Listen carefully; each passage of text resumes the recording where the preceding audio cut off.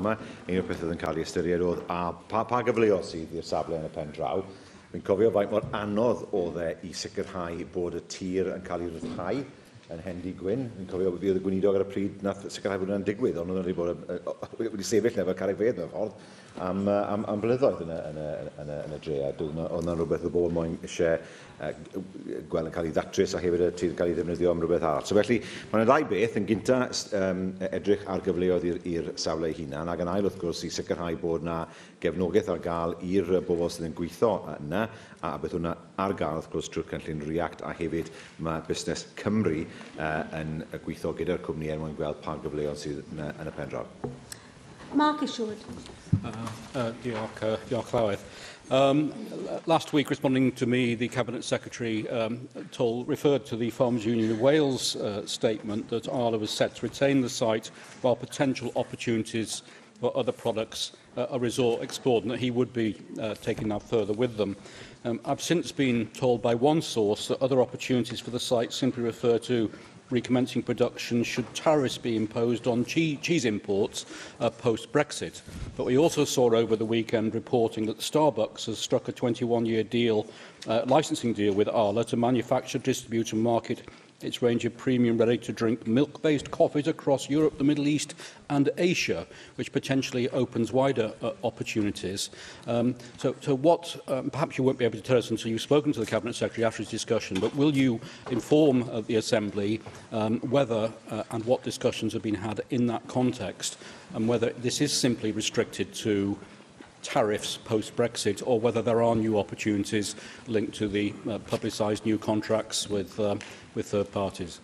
Well, it is early days yet, but certainly we will explore any uh, possibility that will lead to a positive outcome for the, uh, for the area, uh, and that is something the Cabinet Secretary will continue to, to do together with officials.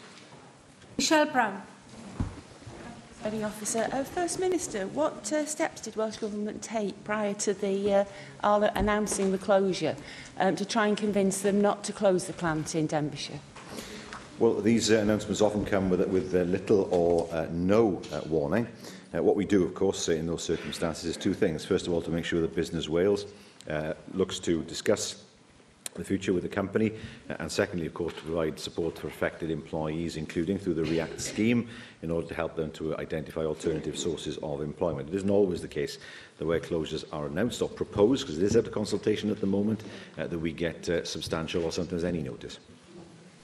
Question 2, Jane Bryant. Diolch, Llywydd. What is the Welsh Government doing to tackle alcohol abuse? We're investing almost 15 million a year in our substance misuse agenda, and within this we're undertaking a range of actions to tackle alcohol abuse. That includes supporting services which are commissioned by area planning boards, and also, of course, earlier this afternoon, uh, introducing the Public Health uh, Minimum Price for Alcohol Bill. Thank you, First Minister. Uh, last week, Gwent Police announced the introduction of a scheme where first-time offenders and low-level crimes, including drunk and disorderly, will be given the chance to attend a course rather than face court. The course will be offered to individuals at the discretion of the police and no cost to the public, rather like the speed awareness course. Gwent Police are the first force in Wales to offer such a scheme as part of their wider strategy to tackle alcohol problems, reduce reoffending and ease pressure on the criminal justice system. Gwent Drug and Alcohol Service, a charity providing support and advice for individuals and families, have welcomed this scheme. Can the First Minister set out how the Welsh Government is supporting substance misuse services to increase awareness of the dangers of excessive alcohol consumption and how will the Welsh Government work with the police and others to reduce alcohol-related crime? I think that's a very good idea. I mean, it, it, when I first started many years ago as a lawyer, it was often the case uh, that where we had two young men, it was inevitably young men, who might have been fighting with each other in drink uh, on the Kingsway in Swansea, which in those days was uh, quite, quite a venue for such things. Uh, if it was felt they wouldn't trouble the police or the courts again, they were often bound over, which meant they didn't have a criminal conviction. Uh, they were scared, frankly, and that it scared them from coming back into, the, into court, and it was, in effect, a way of ensuring their, their good behaviour. This goes a step further because it helps people to understand the, um, the effects of alcohol uh, and alcohol abuse. In some ways, I, I support it's the extension of the speed awareness courses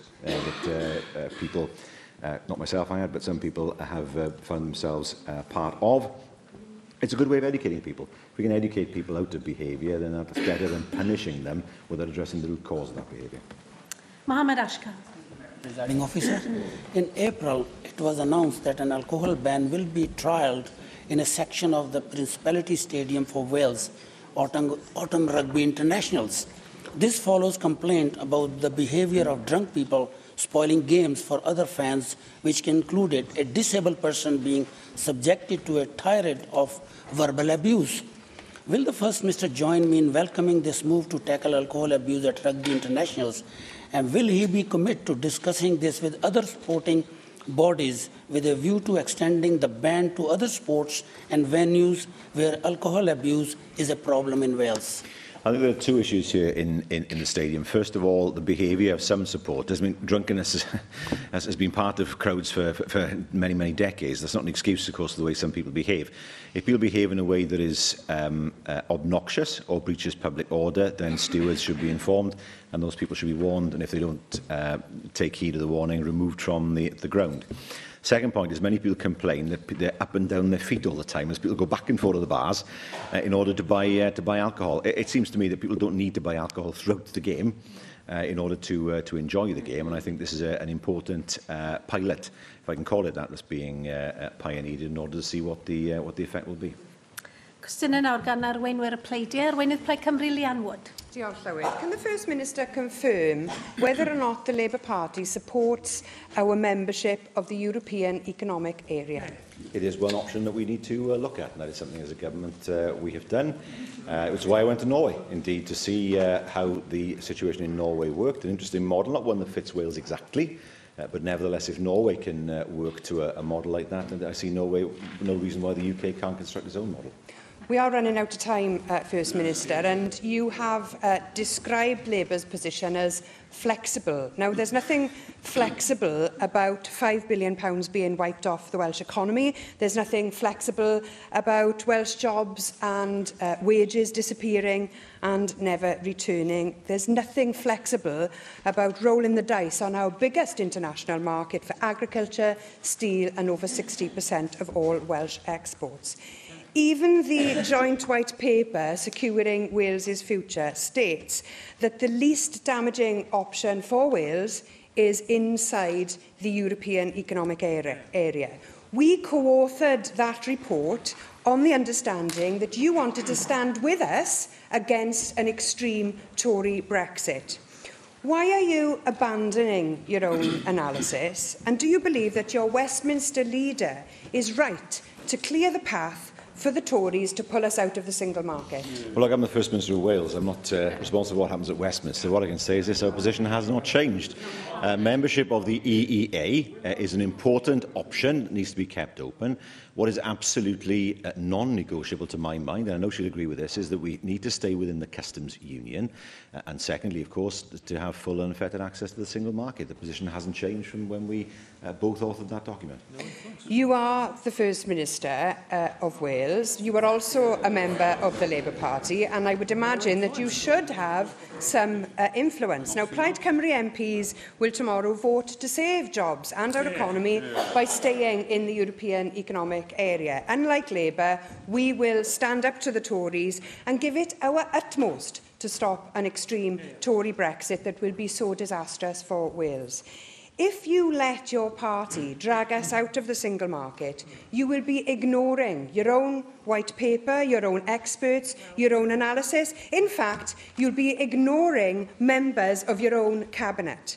Both the Labour MP for Pontypridd and your own Cabinet Secretary for Local Government put it perfectly when they said that Labour has created an open goal for the Tories and Wales will be damaged as a result. So what will it be, First Minister? Will you back the comments of the MP for Pontypridd and your Cabinet Secretary, or will you continue to toe the London Labour line, put in the interests of your own party before the interests of your own country.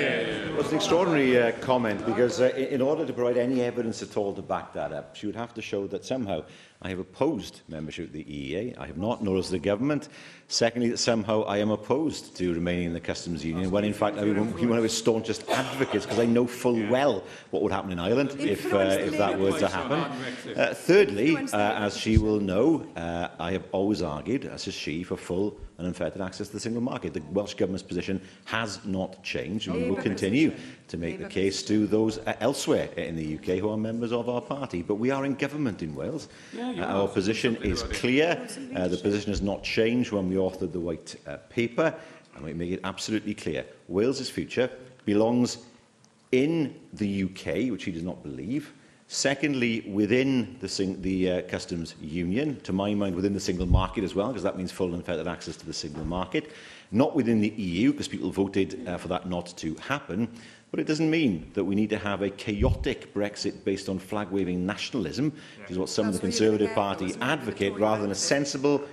pragmatic Brexit that works for Wales. That's what we want, and I hope that's what she wants. Arweinydd yr wrth blaid Andrew Watty Davies. Thank you, Presiding Officer. Uh, First Minister, last week the Chief Executive of Qatar Airlines uh, made some very uh, unhelpful and disparaging remarks about uh, whether a woman would be able to fulfil his role. You, as First Minister, have rightly identified that you as a government, and I'm sure everyone in this chamber, want Wales to be the most feminine-friendly country and allow pathways to every opportunity in Wales, irrespective of whatever sex you are. Uh, what representations did you make to the Chief Executive of Qatari Airlines about these comments, given that they are a strategic partner of yours, and not only that, you have put a lot of public money available available to that airline to develop the routes into Cardiff Airport. Well, clearly I don't agree with his, uh, his words. Uh, he is the chief executive of an airline, not uh, the head of a, uh, of a government. Uh, we will continue to make the case, both within the UK and beyond, uh, to ensure that uh, equality becomes something that is entrenched in societies around the world. Sadly for that answer, First Minister, you give an indication that you made no representations whatsoever to the uh, Chief Executive or the airline about these remarks. Uh, if you were a small business in Wales uh, or medium-sized business in Wales, I'm sure that given the social contract that you've developed, uh, you would be obviously um, demonstrating your dislike of the comments that were made and with withdrawing that support from that small or medium-sized business. Another indication uh, of the double standard here in Wales is the report today around Pinewood, uh, and the money that the Welsh Government made available to Pinewood uh, to develop the facility in St Mellons. Uh, you talked of at the time in 2014 that there was the potential of 90 million pounds to come into the Welsh economy. There was the potential for 2,000 jobs to be created uh, by this development. We know about 50 jobs have been created and at the moment there's a paper loss of about 9 million pounds according to the Auditor General's figures. Uh, what's gone wrong, First Minister? Uh, well, first of all, uh, around about uh, just over £4 million pounds has been recouped, but many projects are still in progress. You wouldn't expect the whole lot to be recouped in one fell swoop. These are long-term projects, uh, and the money is recouped over a longer period. I just wonder, I have some comments in front of me here, which uh, I wonder if he agrees with. Uh, the addition of the globally recognised Pinewood Production Company to Wales's already rich film production industry is very welcome. An increasing number of blockbuster films are being shot at locations across Wales, and Pinewood's new base will offer even more opportunities to see Wales on film from which the whole country would benefit. Uh, this very welcome announcement is further evidence of Wales's growing reputation as an ideal venue for filmmakers with the right skills mixed to tantalise future cinema goers and movie fans. I agree with those comments. They came from his own party, Susie Davis. Were made in light of your assertion that this investment could bring in uh, 2,000 jobs, of which we know only 50 have been delivered, and potentially 90 million pounds into the Welsh economy. Who wouldn't welcome such a proposition? But what we've seen with your management and your government's management of this particular bid is that we are, you have failed to deliver any one of those targets that you set in 2014. But the point that I identify Qatari Airlines, where you have said nothing, the point I identified with Pinewood, another big internationally recognised company, is if you're a small business in Wales, and you look at these big companies getting the money and then you're discounted from access in the support of Welsh Government because you've made such detestable comments in Qatari's case or Pinewood's overestimation of the gains to the Welsh economy, you'd be scratching your head today and asking, what is the Welsh Government for?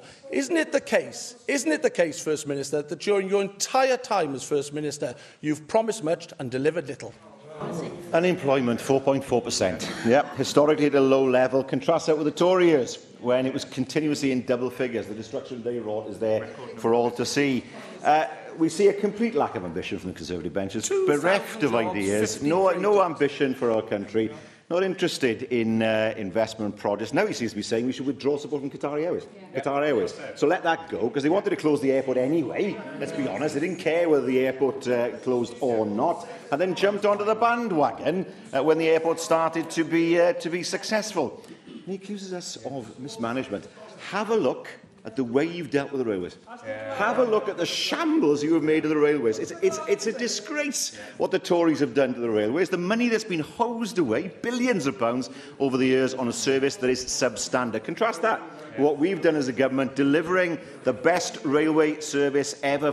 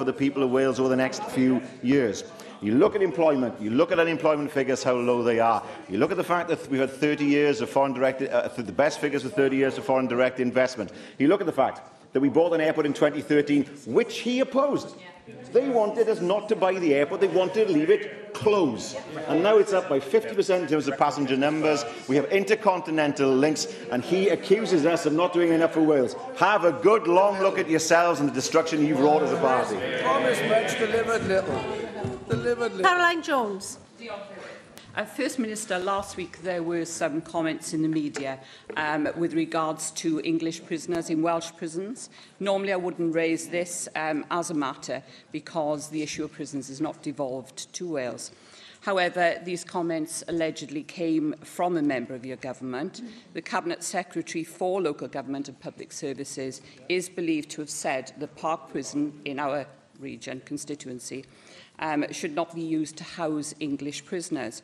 First Minister, can you clarify your government's position on this issue? And do you believe that prisons in Wales should only house Welsh prisoners? Well, firstly, the, the Cabinet Secretary is clear that he did not say use those uh, words. And secondly, well, no. I mean, clearly, it can't be the case that only Welsh prisons can be in Welsh prisons because there are some prisons that don't exist in Wales that need to house Welsh prisons. Category A prisons, for example, we don't have a women's prison either. Yeah. Uh, so we couldn't uh, create some kind of self-contained prison system under current Uh, circumstances, because that would mean uh, that would affect us more than anybody. Thank you for clarifying that, uh, First Minister. Um, as you've rightly said, we have no um, women's prison in Wales and not a single Category A prison. Um, in fact, the prisons are severely overcrowded in Wales. Wales has 4,747 prisoners and only across the five prisons um, has an operational capacity of 3,700. Um, so a large number of Welsh prisoners are incarcerated in Welsh prisons hundreds of miles from home. Um, and this is believed to be a significant factor in self-harm and suicide. So in your government submission, submission um, to the Commission of Justice, um, you appear to be making the case for prisons to be devolved. Um, and is this the case? And if so, would a Welsh Government support um, building new prisons in Wales to relieve the overcrowding and the safety issue regarding staff, the self-harm of prisoners and to house prisoners closer to home in relation to rehabilitation? Well, we do think the devolution of prisons along with the rest of the criminal justice system should be considered for devolution. It would take some time because uh, clearly we've had an integrated system with England for a long time. But it simply isn't enough for us to say, well, we will take control of the prisons and carry on with the same policy as before. Uh, there is an opportunity now for us to look at uh, a new system of penal policy and uh, in order to make sure that we have a policy that's tailored uh, for the needs of Wales. And that, to my mind, includes looking at different types of prisons, uh, their sizes, uh, their success in terms of reforming prisons, and that's all part of that's all an important part uh, of consideration of, of a Welsh penal policy should prisons be devolved you for that, First Minister. I'm sure we can all agree that in the interest of safety of staff and prisoners regarding self-harm, that something does need to be done on the capacity of staff as well, for the staff to be increased in order to provide a safe environment um, and in order to help with rehabilitation and prevent reoffending. So regardless of where the responsibilities over prisons lie, um, the Welsh Government has a role to play in the rehabilitation, as you've just said, um, and an effort through the, the provision of health services, education, housing and employment issues. So First Minister, I, I'm yet to be persuaded stated that there is a case for devolution of the justice system, prisons in particular, as I, as I don't believe we can go it alone. However, it is clear that there has to be greater cooperation between the Welsh Government and Westminster um, here. So what, what discussions have you had with the UK Government about improving access to rehabilitation services in Welsh prison and the impact of overcrowding, which eventually helps uh, AIDS reoffending. Um, so regarding staff shortages and the impact on rehabilitation of prisoners. Can you please um, answer those questions? Thank uh, you. uh, Well, it, it is tricky because many services that are provided within prisons are devolved services. Uh, and it, it, it, it's not the easiest fit to make with a, a non-devolved uh, service and a devolved service in order to provide those services. We've done it, uh, but you know, there will be easier ways of doing it. Well, she's going it alone. I mean, Northern Ireland has a prison, prison system, sort of Scotland, so for that matter, there's Man uh, and Jersey and Guernsey. It's not entirely self-contained, and there will always be, to my mind, a case uh, for some of the most dangerous prisoners perhaps to be housed in uh, one or two places, or three probably, uh, around the whole of the UK, uh, rather than us doing it in Wales. We have to pay for those prison spaces, uh, but the number of offenders in uh, that category is actually quite low. Uh, so it may well be that, that we, we may want, not want to pursue the, the option of a Category A prison in Wales. But there's no reason in principle or in theory why we couldn't run the justice system ourselves, given the fact that far smaller entities such as Northern Ireland have been doing it, well, nearly, for nearly 100 years. Tynwyd cwestiwn tri yn ôl, felly cwestiwn pedwar Paul Davies. A wnaeth y prif wneud o ddatganiad am ddyfodol gwasanaethau iechyd yn o'r Cymru.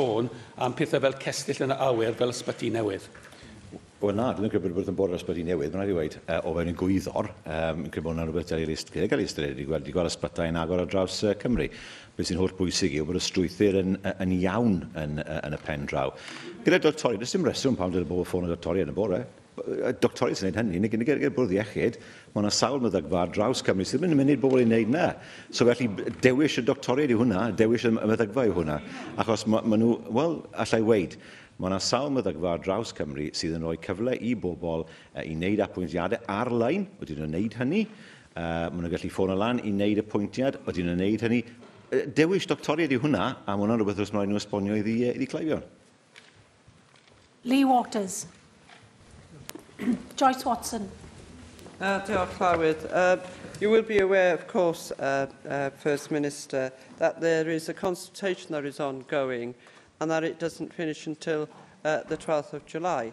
And I did make a request here some uh, weeks ago about having additional um, opportunities for people to take part in that consultation and Hewell Health Board uh, did respond. Uh, I hope that you would reiterate again, because it is a consultation, uh, nothing is fixed as yet, uh, to encourage people, whoever they are, and particularly uh, whatever their views are, so that they can be considered in the final document that will come out for consideration post-consultation. Uh, it's right to say that no decisions have been made. It is hugely important, as I said, that there is uh, the fullest possible uh, consultation. Uh, I've not heard of any, of any complaints around the consultation itself, although, of course, there'll be strong views what the outcome uh, should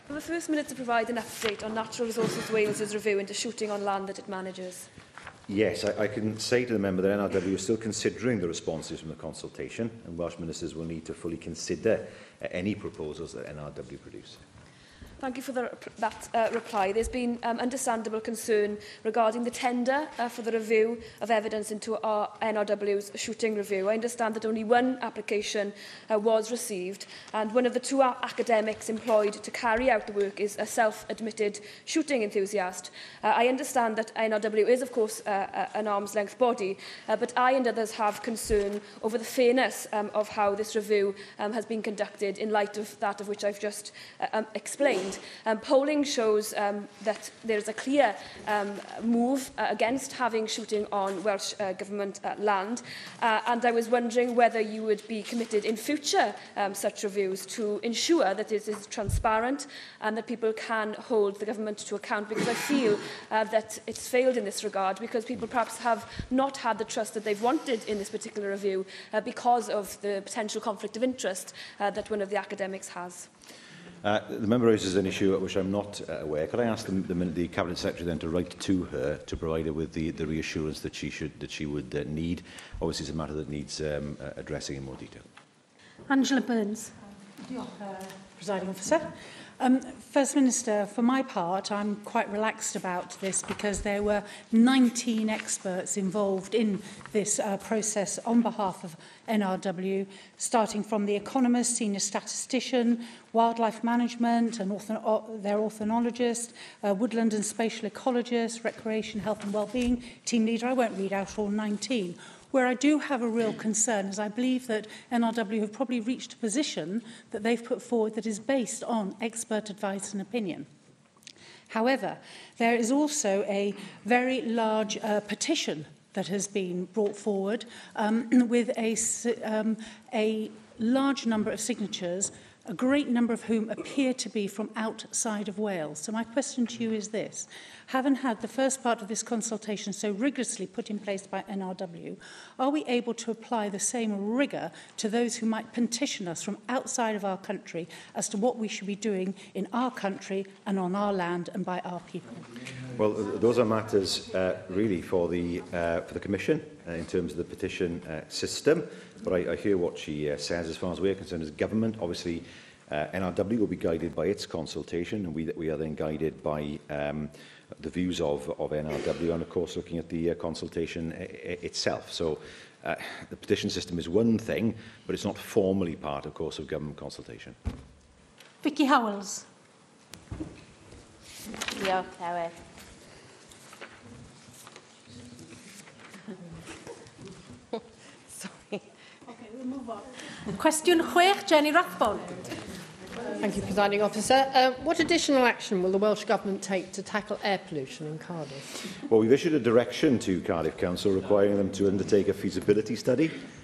to identify the option or options which will deliver compliance with the legal limits for nitrogen dioxide in the areas for which the authority is responsible in the shortest possible time.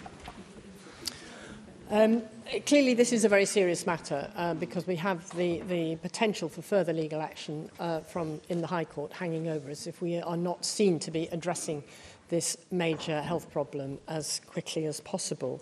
Um, the, the Keolis Amy uh, contract for delivering rail and metro is extremely welcome. Yeah. The increased hi fi on the trains will uh, encourage more. commuters to do the right thing and actually be working while they're travelling uh, rather than sitting in a car.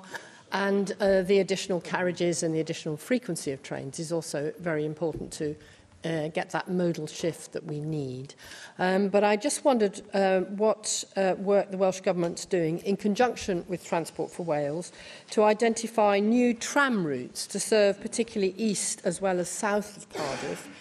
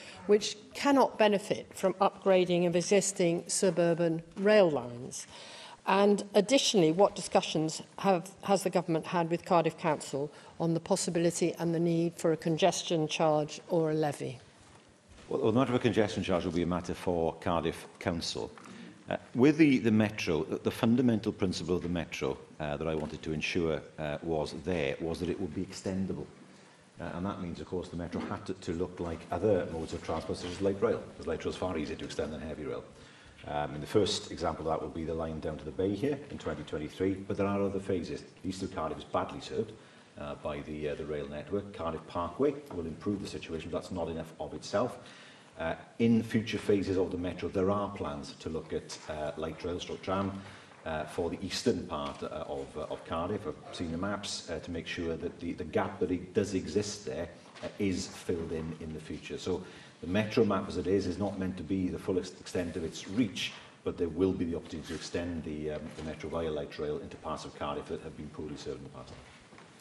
David Melding.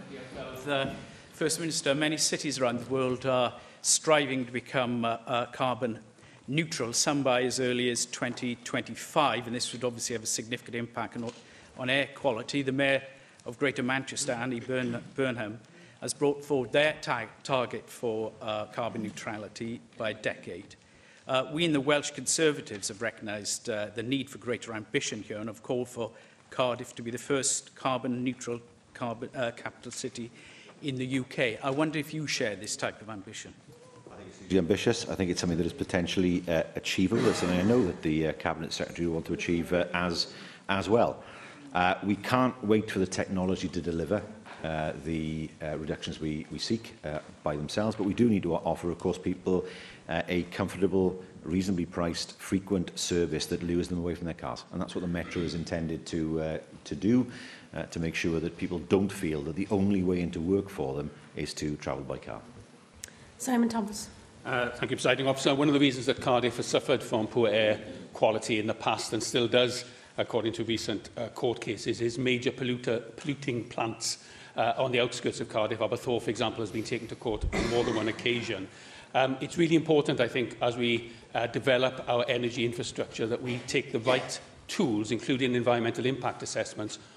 on any new developments. Uh, it's been of great concern for many in Wales that the Barry incinerator that was proposed and is still going ahead at the current time has not had a full environmental impact done on it. It's very difficult to judge the quality of air that will affect people in Barry and Cardiff if we don't do such an environmental impact. Now, I know the, Minister, the Environment Minister is considering whether to order such a full environmental impact. Will you, as First Minister, ensure that that is done for both the residents of Barry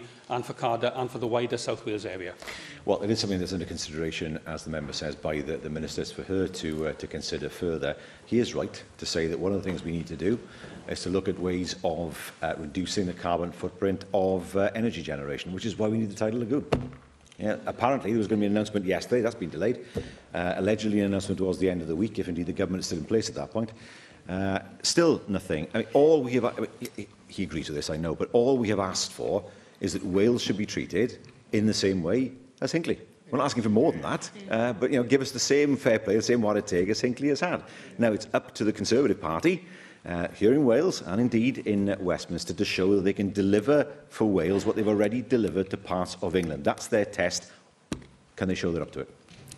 Question Scythe, Mike Hedges. Will the First Minister make a statement on efforts to tackle the problems caused by Japanese knotweed? We do work with uh, partner organisations and the public to tackle the threats of invasive non-native species in Wales. And I recognise that Japanese knotweed is a significant problem. We have uh, actively funded innovative trials. Uh,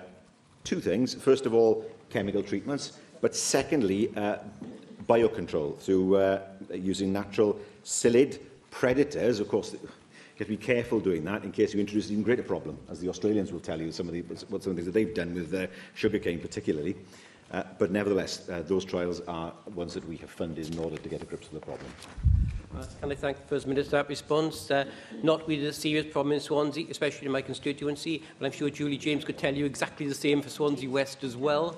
Uh, uh, whilst the experiment with a natural predator and improved chemical treatments that be welcomed, we have areas of green wedge where knotweed has become a problem.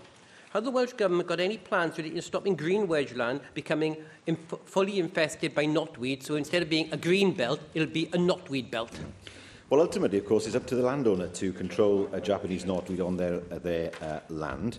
Uh, I can say that we recently awarded uh, £50,000 to uh, five councils via the Green Infrastructure Funding uh, Scheme to undertake a project to combat invasive non-native plant species at over a thousand sites throughout the, the, uh, th those five uh, counties. Uh, it'll also train community volunteers to help to control uh, those plants, and we did uh, recently publish an updated information sheet aimed at community and voluntary groups with advice on action on land they manage. Susie Davis. Uh, Diolch Llywydd. Um, they say that uh, are only certain things will survive a, a nuclear holocaust in this country, one being E. coli, and second being cockroaches, and the third, the certainty that this question will keep coming up on the order paper in this place. Um, you may have heard recently that there have been some ide uh, ideas that perhaps we should eat more uh, of this Japanese knotweed, as it's full of vitamins and minerals. We can't eat, you can't eat our way out of this problem, obviously. So my main question to you is, have you had any information from local authorities that there has been any illegal dumping of uh, Japanese knotweed in our landfill sites? Not that I'm aware of, but I'm sure that there are examples uh, uh of it. Uh, I have not That is a biocontrol method I've not heard proposed before.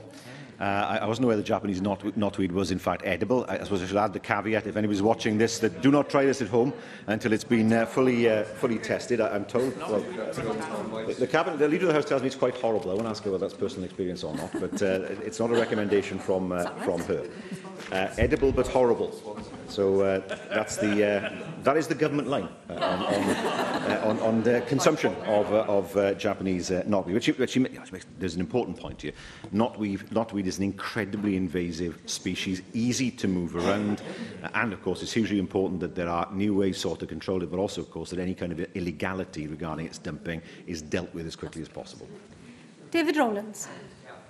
Um, well, it is a well uh, recognised fact that Japanese uh, knotwood is one of the most pernicious plants ever to be introduced uh, to the British Isles. I understand that local councils have a duty to control knotwood infestations. As these infestations can blight private houses, it is essential that these controls are in place. And yet even a cursory observation of mostly urban uh, areas show that control measures seem not to be being applied. Would the First Minister consider reissuing guidance and perhaps a reminder to local councils of their duty in this regard?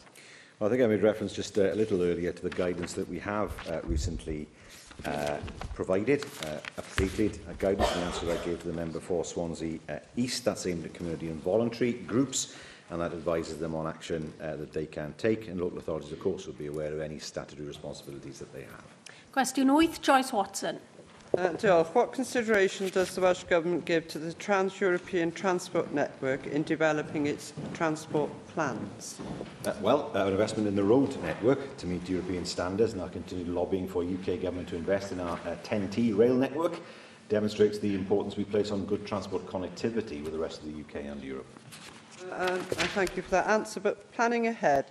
uh, there are examples of non-EU members being part of the ten t network. Uh, for example, Switzerland is. Is that something Cabinet has discussed in terms of post-Brexit planning? Because the extent to which uh, we coordinate with the EU on improvements to our major transport infrastructure, our roads, rails, airports and seaports, will have a huge bearing on economic activity uh, for decades to come. And Wales should look to maintain those bridges even if England is intent on burning them. The, the, the difficulty is geography, of course. I mean, we have to make sure that, um, that, the network stays in place across the whole of southern Britain particularly.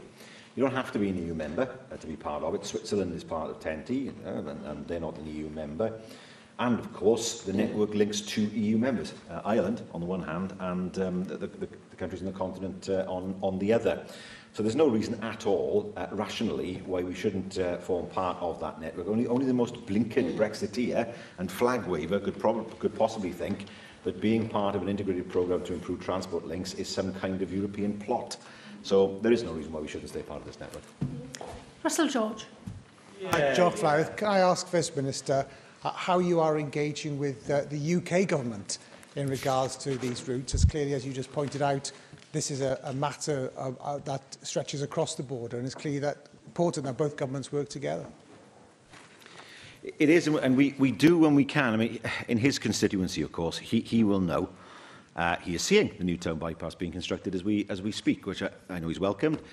He will have had the Four Crosses bypass as well. And then, of course, once through uh, Llanamanech, uh, the road starts to slow down, going through Pant into Shropshire and beyond. Uh, and it can be difficult to um, uh, engage uh, the Department for Transport uh, so that they understand how important roads that seem peripheral to them are in fact to us and to the communities that live along those roads as well in, uh, in England. So we will always continue to work uh, with uh, government in England in order to make sure that our road network and indeed our rail network is as interconnected as possible. Question now, Len Neagle. Minister provide an update on discussions with the UK Government on Brexit? Yes, we continue to use a range of channels for discussion, uh, notably the JMC Plenary and European Negotiations, EN. Uh, most recently, at political level, there was the first meeting of the Ministerial Forum on EU negotiations on the 24th of May.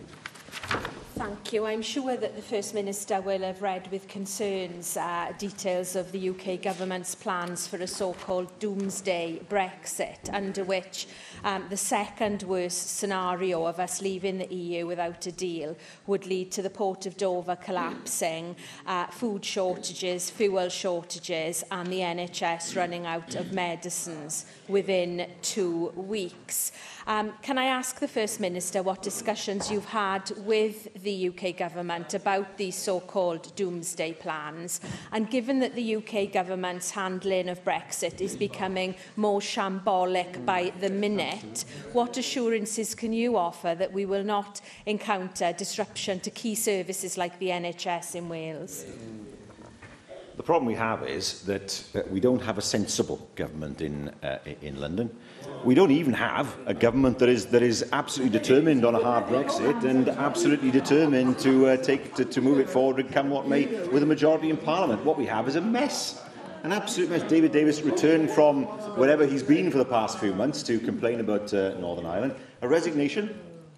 Resignation again this morning of a government minister in, in London, not happy with the direction that the, uh, the Tory government is, uh, is taking. You know, we have a prime minister who is in a position of grave weakness, who has to appeal for unity within her own party because of the, the backstabbing that's taking place. We have our own foreign secretary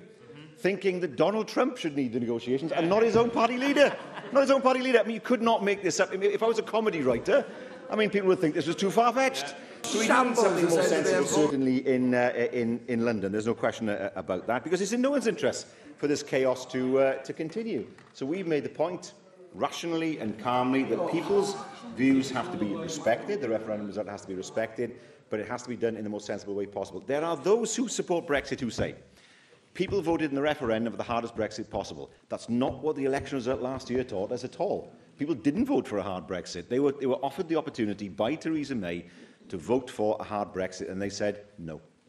And that is the reality of the democratic position. When I see newspapers in London saying this is some great betrayal, they forget the result last year yeah. and what people actually voted for last year. My belief is what people want is they want the result of the referendum be, to be respected and for Brexit to happen but they want it to be done in the most sensible and rational way possible and not in a way that damages the UK. And I have to say, one of the things that troubles me is that I don't believe the ports are in any way ready uh, for, for uh, a hard Brexit in March. We will then see delays at the ports. We will see lorries Dover, not yeah. just in Dover, potentially in the Welsh ports as well, lorries backed up uh, down the, down the road, nowhere to park them, delays, goods going off, perishable goods. And what then will the UK government do? They'll blame the ports. Yeah. They'll blame the ports. That's what they'll do. They'll say, well, Doug, it's your fault. You didn't invest properly. And it's not our fault, Gov. It's the fault of the ports. Or they'll come to us and say, the delays in Holyhead and Pembroke Dock and Fishguard are your problem because the Welsh Government controls the ports. Yeah. Well, that's not good enough. I mean, if there's going to be planning for, for a, a hard Brexit, which is happening, and you know, in some ways you can understand why that's happening, you know, prepare for the worst, then there has to be money on the table to help our ports to deal with the inevitable consequences and delays that will actually occur. And that hasn't happened. Instead, what we're getting is nothing happening and the potential, I think, for ports to be told any delays are your fault. Mark Reckless. Yeah, First Minister for his, his statement. Of course, it would be for the UK government to decide what, if any, restrictions or customs it wanted to put or not put on goods coming into the the country. But, First Minister, you made it clear earlier that your government still supports uh, staying in a customs union with the EU and staying in the single market. Previously, you have suggested you respect the referendum result and there shouldn't be a second referendum. However, you're no longer able to claim that that is the position of your government because you allow ministers to speak out and say that notwithstanding the vote of Wales and the UK in that referendum, we shouldn't have that, and they should be made to vote again. Do you not understand that if the position is